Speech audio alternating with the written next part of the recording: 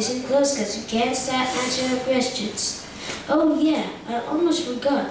We called our story Vinegar Boy.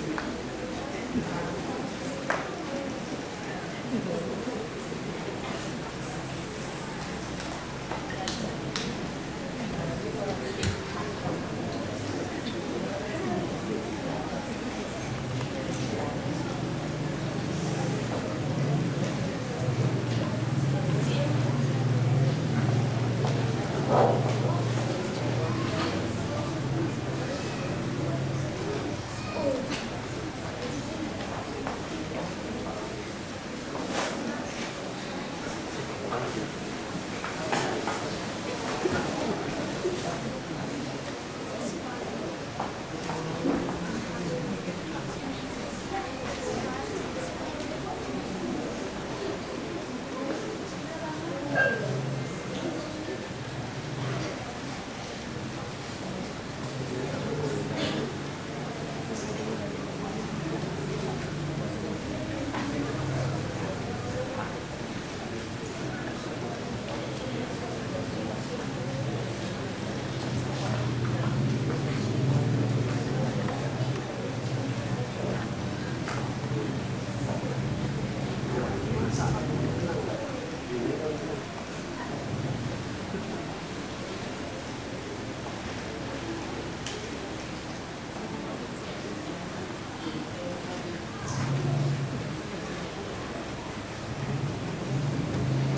First light of day spilled over the horizon. The temple horns called to the rising sun.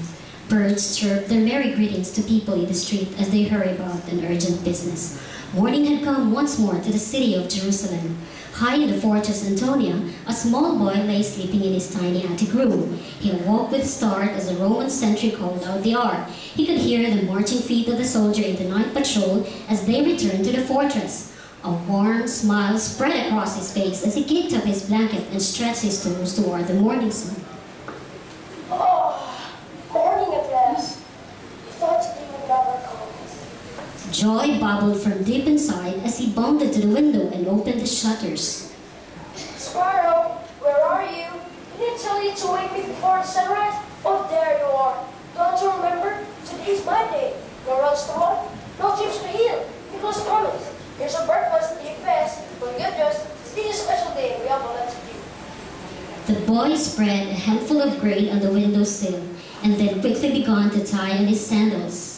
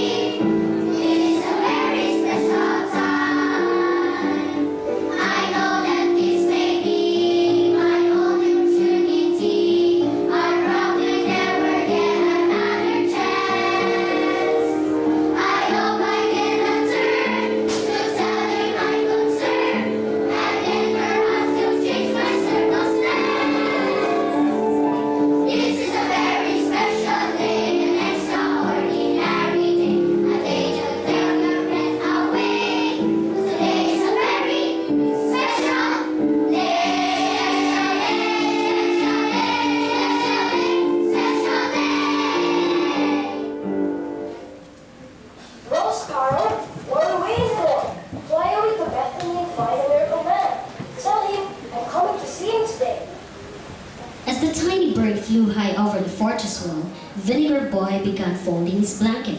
His mind was filled with questions as he remembered the events of the past week. The crowds, the singing, and the palm branches. He had watched it all with Mar- Marconius, and what a sight it had been. Who was this miracle man? This Jesus of Nazareth?